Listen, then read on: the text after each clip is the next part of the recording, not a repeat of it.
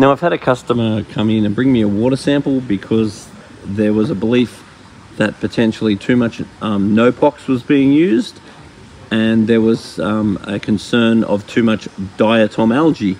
Now I've looked at the photos and the diatom algae to me looks a lot more like um. Now if you've got cyano, getting a siphon hose, not a gravel cleaner, just a siphon hose, and then going over the area where you've got cyano, you'll actually see it often suck it out.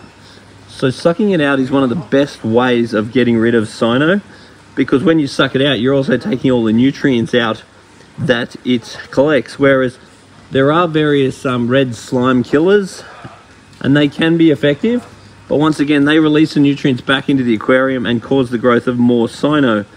So that's something to be concerned about.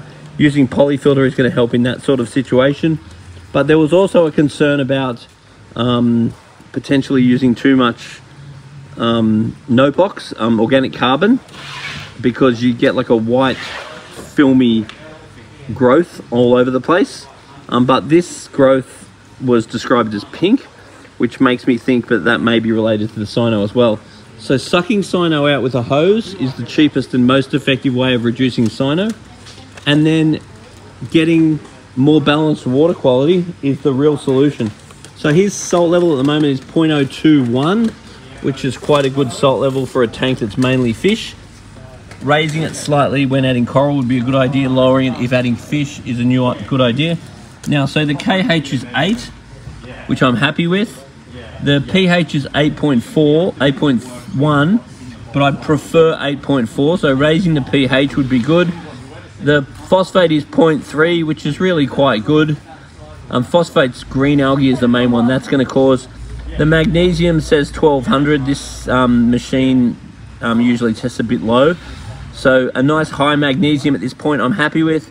No ammonia, no nitrite I'm happy with.